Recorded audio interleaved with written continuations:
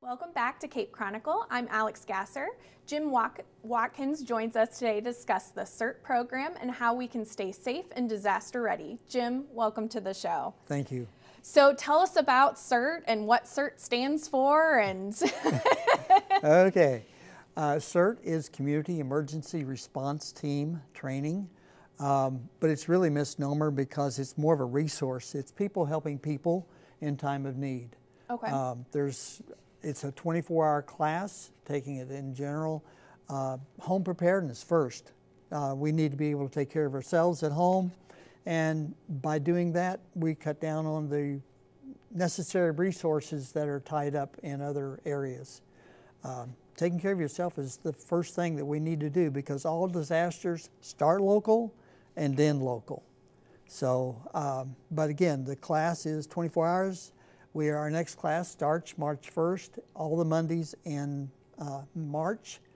Uh, April 1st, we skip the Eclipse Day, April 8th, because other people will be doing things, and then we'll finish our class on April 11th. It is at the Cape County Public Health Center um, from noon, from 8 a.m. to noon each Monday.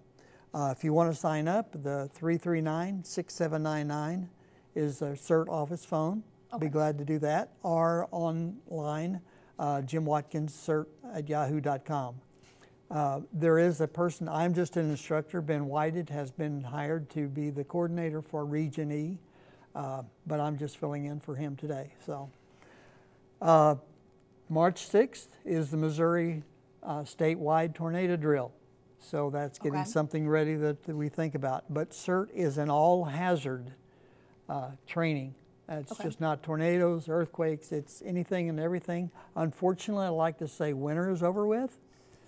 But I think probably, we're all right there, yeah. yeah but probably not. So we never know when the next ice storm or whatever. And that's where preparedness for everything and anything uh, needs to be happening in our in our own communities. So. So I know, Jim, I've met you before at yes. different events, and you always bring by your bucket that yes. has all the things that you need. Tell me what are some of the things that you have in your preparedness bucket? Uh, well, start with a plan, okay? So you have uh, items that you think that you will need. First aid kit, absolutely, because again, those things are never known. Um, I usually wear eyeglasses, so I have an extra pair because I'm basically blind without them. Uh, at least I've had surgery now that's a little better. But anyway, um, anything that you need to survive. We don't have water, but again, water is necessary. That's something every home should have a plan for water to be able to, if, in case electricity doesn't work or water pipes break and we can't have city water. So those are things that we need to have. Um, practice that plan. Talk to your family about uh, disasters. My, but my disaster bucket, first aid kit, flashlights, extra batteries, uh, weather radio so that I can catch on what's going on, uh, emergency alert system. Um, oh, just all kinds of things but it, it, fits in a five gallon bucket that actually can become a latrine if it's if that's needed also. Gotcha. So, but uh, yeah, I have fun with the bucket. and how often do you go back through and, and check that or, or go over that plan with your family? Uh, we should do it every year, okay. minimum, but uh, I do about every six months. Uh, again, at home, I have at least six months of water stored. You never know. Um, but again, and it's rotated out.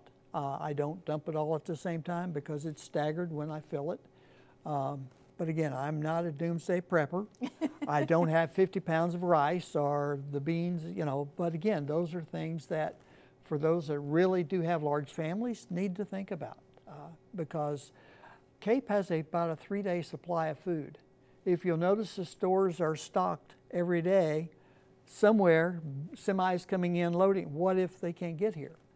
Um, so that's something that we, we need to plan on, plan for. Gotcha.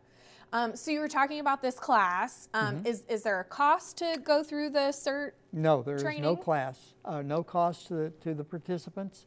Uh, we have, we're very fortunate to have a Homeland Security grant that pays for the instructor's salary and then the supplies that we use. And we use a lot of supplies because it's a basically a hands-on class. Okay. We talk about the lecture, how to do things, and then we do them.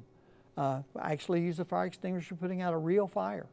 Wow, that's So, cool. uh, yeah, and uh, disaster first aid, we how to bandage. One of the things our new curriculum is how to use a tourniquet. Okay. Uh, so because unfortunately our service people have had to go to that, now we have experience and everyday use can save lives with tourniquets. Uh, hopefully never use them, but but the training is there, and that's what it is all about. Is home preparedness is just training, knowing what to do, when to do it, and how to do it safely for you and everyone else. Um, so, what's one of the things that you would say that people don't always think of, or what, what's the number one thing that you really want to communicate with families? Um, Sit down, make a plan of how to, in case there is a fire, and cooking fires is the number one. Uh, how to evacuate the house, where to go, where to meet the family, not just outside your house, but maybe at the end of the block or you know a little farther away from your home. Um, that is make a plan, practice that plan, and then build a kit. Those things are things that I use a bucket, backpacks. Every child wants a new backpack every school year. So take that old one, give the you know make a pack out of it. Um, it's just whatever that you need to take care of yourself and your family. Um, Jim, will you tell me what those dates are again yes. um, and, and how folks can sign up for that? Okay. Well, phone number 573 339 6799 is the CERT office. Uh, we can do the March 4th, 11th, 18th, 25th. We'll do April 1st. We'll skip April 8th because of the eclipse, and then we'll finish with an exercise. We do an exercise at the end to complete all the class on April the 11th. Uh, so that's kind of where we're at and going from there. Awesome. Well, thank you so much okay. for, for being here today and, and sharing those things. And I'll make sure that I have a plan. I know my husband has a backpack ready for us to go yes. if anything happens. So we're already kind of ahead of that, um, but we'll make sure we have that plan.